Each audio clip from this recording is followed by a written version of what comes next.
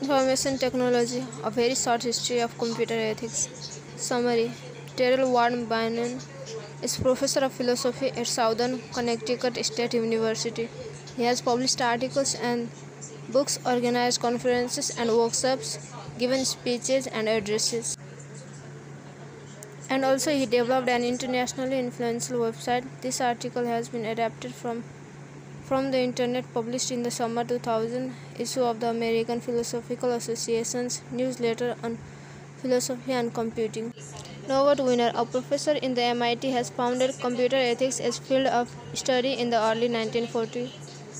At the same time, he was helping to develop an anti-aircraft cannon capable of shooting down fast warplanes. Wiener created a new branch of science called cybernetics Cybernetics is the science of information feedback systems. The cannon he was helping to develop has two parts. One part would track the enemy warplane and talk to the other part. This is an engineering challenge. At that time, digital computers were being created. Norbert Wiener expressed his concern over this combination of moral consequences in his book Cybernetics or Control and Communication in the Animal and Machine, published in 1948. He thought that this combination of cybernetics and digital computer had the potential for good and for evil.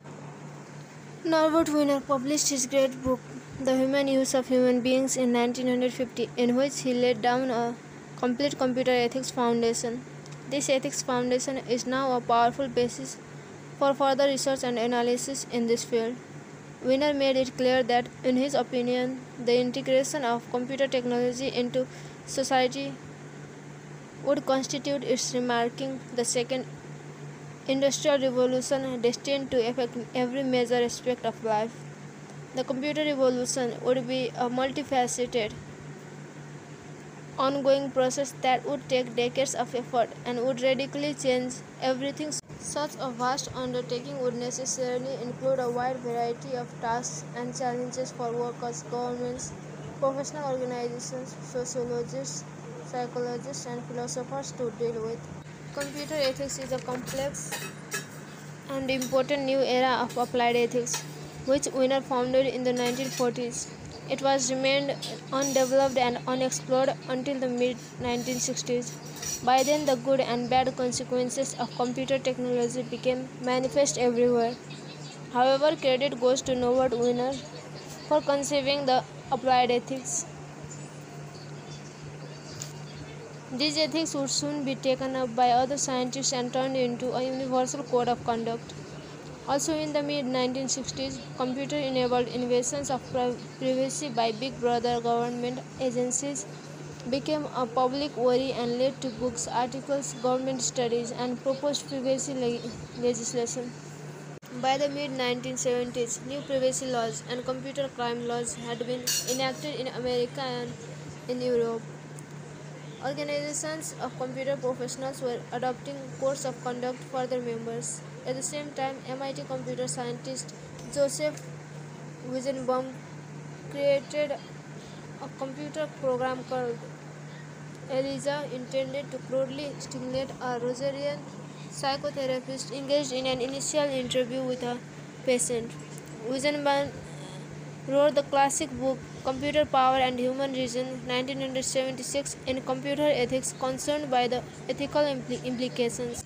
Walter Maner had dubbed computer ethics. Maner defined computer ethics as the branch of applied ethics which studies ethical problems aggravated transformed or created by computer technology. He also offered guidelines for dealing with the subject in the classroom.